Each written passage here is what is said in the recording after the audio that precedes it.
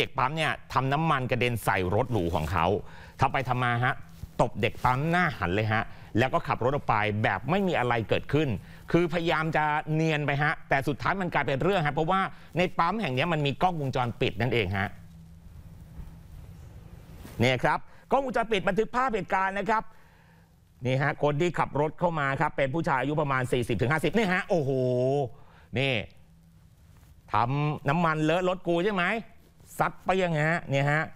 หลังมือนี่ตบไปที่หน้าของเด็กปั๊มคนนี้เลยครับ คือรถคันนี้มันเป็นรถสปอร์ตหรูซุปเปอร์คาร์ครับลัมโบกินีสีแดง กระจกหลังแปะสติกเกอร์ว่าเรารักมาบยางพร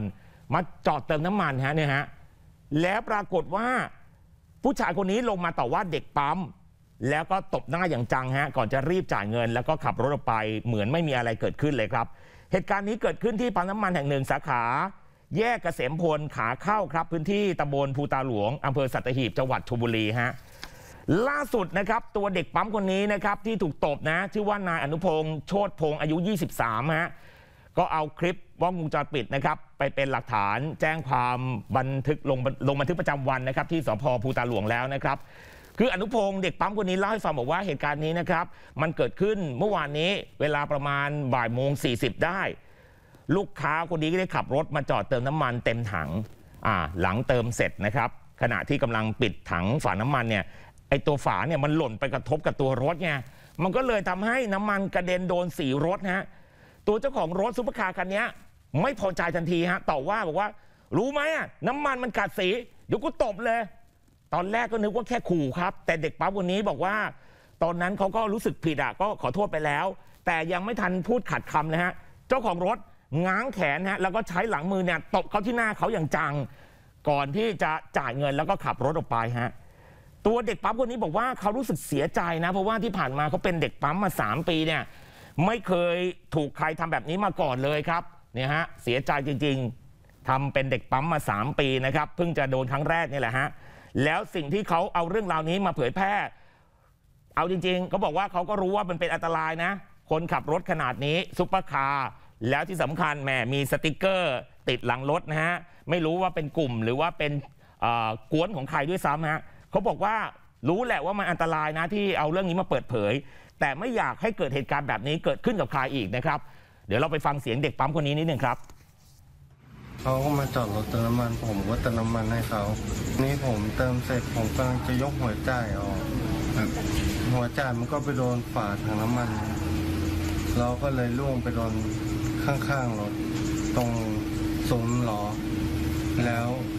ทีนี้ลูกค้าเขาก็ไม่พอใจเขาลงมาโวยวายว่ามึงรู้ไหมเอ้น้ำมันมันกัดสีรถนะแล้วผมบอกผมขอโทษครับพี่เขาบอกเดี๋ยวเดี๋ยวพูดตบเลยพอพูดไม่ทันจบเขาก็ตบเลยครับพี่ จากการตรวจสอบข้อมูลของทีมข่าวนะครับ ทราบว่าผู้ก่อเหตุเป็นนักธุรกิจอสังหาริมทรัพย์นะครับแล้วก็เป็นลูกของผู้ใหญ่บ้านชื่อดัง แล้วก็ครอบครัวนักการเมืองท้องถิ่น ในเขตพื้นที่ตำบลมาบยางพรนะครับอำเภอปลวกแดงจังหวัดระยองครับหลังเกิดเหตุปรากฏว่าเสียก็ขับรถออกไปครับ แล้วเกิดรู้สึกสำนึกผิด มีการส่งตัวแทนเข้ามาพูดคุย แล้วก็ขอโทษนายอนุพงศ์เด็กปั๊มนะครับ พร้อมกับมอบเงินค่าทำขวัญเป็นเงิน 10,000 บาท ตัวของเด็กปั๊มเองก็คือนายอนุพงศ์บอกว่าไม่ติดใจเอาความครับ เพียงแต่ลงบันทึกประจำวันเป็นหลักฐานเท่านั้น แล้วก็ทราบว่าวันนี้ช่วงเที่ยงครับ ทางผู้ก่อเหตุเนี่ยนะฮะก็จะมีการเดินทางมาขอโทษนะฮะนายอนุพงศ์เด็กปั๊มด้วยตัวเองอีกด้วยนะครับ ก็เดี๋ยววันนี้ทีมข่าวเราคงไปตามต่อนะฮะที่ปั๊มที่ชลบุรีนะครับผมครับอะคืออย่างที่เราทราบกันดีฮะว่า หลายๆคนบอกว่าอ้าวรถคันนี้มันน่าจะเป็นรถแพงนะ รถแพงจริงครับคุณผู้ชมฮะซุปเปอร์คาร์ยี่ห้อลัมโบกินี่เนี่ย มูลค่าน่าจะประมาณเกือบ 40 ล้านบาทนะคือบางคนบอกว่าเออบางทีเนี่ยไม่ต้องถึงขนาด 40 ล้านหรอกของเรารถคันหนึ่งไม่กี่บาทเนี่ยเราก็รักรถอยู่แล้ว อันนี้ก็เป็นเหมือนอุทาหรณ์เตือนใจสำหรับบรรดาคนที่ทำเป็นเด็กปั๊มแล้วกันนะว่าเวลาจะทำอะไรก็ต้องระมัดระวังนิดนึง อันนี้เราไม่เข้าข้างใครทั้งสิ้นนะเพียงแต่ว่าการที่คุณไปทำแบบนี้ที่เป็นเจ้าของรถแล้วไปตบหน้าเด็กปั๊มเนี่ยมันก็ผิดอยู่แล้ว อันนี้ก็จะต้องระมัดระวังมากยิ่งขึ้นในขณะเดียวกันถ้าสมมติว่าเกิดเหตุการณ์แบบนี้บางคนบอกว่าเฮ้ยเคยโดนแบบนี้อยู่แล้ว